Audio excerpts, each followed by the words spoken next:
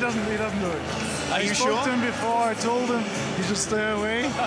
and uh,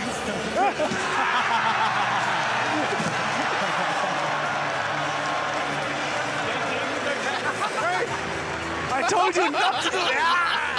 Guys, but finally, finally we got some beer too. Hey, come on! Watch out! Well, There you go. It's been served. Thomas Muller might might not have been telling you the truth there, Ah, Basti. yeah, yeah. How I does spoke that to him. I spoke to him twice actually today. He should, not come over and don't do that. Obviously, he doesn't listen. This is why some of us brought a change of clothes. Let's let's put it that way. You know, I brought my second outfit. You, you saw it, right? You saw it, but it's. We did. I tell you what, we're going to change We're the a mood a danger little bit because Emre Can, you coming in? Is that okay?